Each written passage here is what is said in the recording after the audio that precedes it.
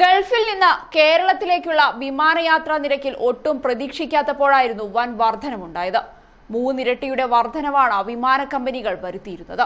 രണ്ടു വർഷത്തിന്റെ ഇടവേളയ്ക്ക് ശേഷം പെരുന്നാൾ ആഘോഷങ്ങൾ സജീവമാകുന്ന പശ്ചാത്തലത്തിലായിരുന്നു വിമാന കമ്പനികൾ നിരക്ക് കൂട്ടി പ്രവാസികളെ വട്ടം കറക്കിയത്.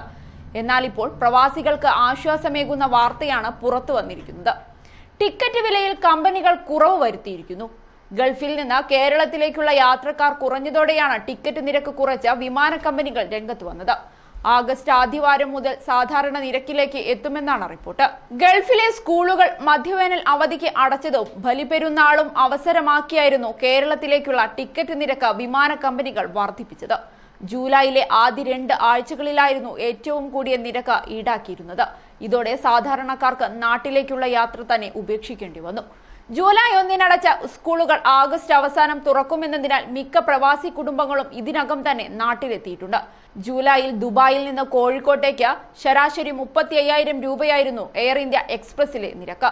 എന്നാൽ ഇതേ റൂട്ടിൽ ആഗസ്റ്റിൽ പതിമൂവായിരത്തി രൂപ നൽകിയാൽ മതിയാകുമെന്നാണ് പുതിയ വിവരം. അബുദാബിയിൽ നിന്ന് കോഴിക്കോട്ടേക്ക് നാൽപ്പതിനായിരം രൂപ. ഈടാക്കിയിരുന്ന സ്ഥാനത്ത് ആഗസ്റ്റിൽ പതിനായിരത്തി എണ്ണൂറ്റി അൻപത് രൂപ മതിയാകും. Bahrain Kuwait Dammam Muscat Jeddah റൂട്ടുകളിൽ എല്ലാം കുറവുണ്ട്. സീസൺ ലക്ഷ്യമിട്ട വിമാന കമ്പനികൾ നടത്തുന്ന കൊള്ളക്കെതിരെ പ്രവാസികൾ രംഗത്തെത്തിയിരുന്നു. ഇത്തരം കൊള്ള അവസാനിപ്പിക്കാൻ ഇടപെടണമെന്ന ആവശ്യവുമായി പ്രവാസി സംഘടനകൾ പലതവണ കേന്ദ്ര സംസ്ഥാന സർക്കാരുകൾക്ക് നിവേദനം നൽകിയിരുന്നു. എന്നാൽ യാതൊരു ഇടപെടലുകളും ഉണ്ടായിട്ടില്ലെന്നാണ് ആരോപണം. എന്തായാലും യാത്രക്കാരുടെ എണ്ണം കുറഞ്ഞു തുടങ്ങിയതോടെ വിമാന കമ്പനികൾ തന്നെ സമീപനം മാറ്റിയിരിക്കുകയാണ്.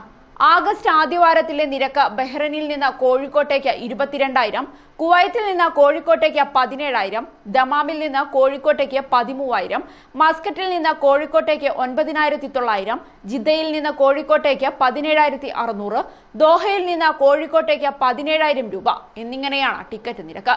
ജൂലൈയിലെ ആദ്യ ആഴ്ച ഈടാക്കിയ നിരക്ക് ബഹ്റൈനിൽ നിന്ന് കോഴിക്കോട്ടേക്ക് നാൽപ്പത്തിനാലായിരം കുവൈത്തിൽ നിന്ന് കോഴിക്കോട്ടേക്ക് മുപ്പത്തിയൊന്നായിരം ദമാമിൽ നിന്ന് കോഴിക്കോട്ടേക്ക് മുപ്പത്തി എട്ടായിരം മസ്കറ്റിൽ നിന്ന് കോഴിക്കോട്ടേക്ക് മുപ്പത്തി അയ്യായിരം ജിദ്ദയിൽ നിന്ന് കോഴിക്കോട്ടേക്ക് മുപ്പത്തിയൊന്നായിരം ദോഹയിൽ നിന്ന് കോഴിക്കോട്ടേക്ക് നാൽപ്പതിനായിരം എന്നിങ്ങനെയാണ് ടിക്കറ്റ് നിരക്ക്.